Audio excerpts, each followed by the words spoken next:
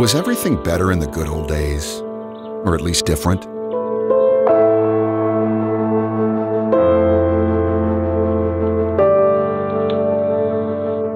For 10 years, I did everything with one and the same camera. It's been my baby.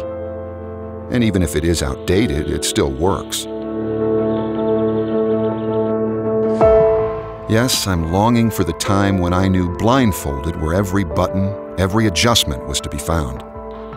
Today, we've got a battle of formats.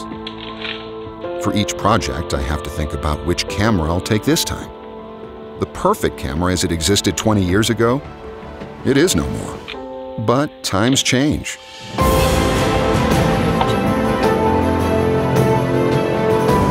Maybe the durability of a camera is shorter, but the new possibilities offered by these new cameras are breathtaking.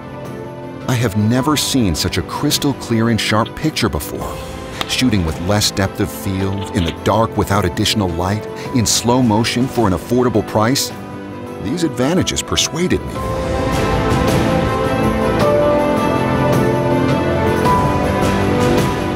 Formerly, everything was different. It's been a great time, and I owe something to it.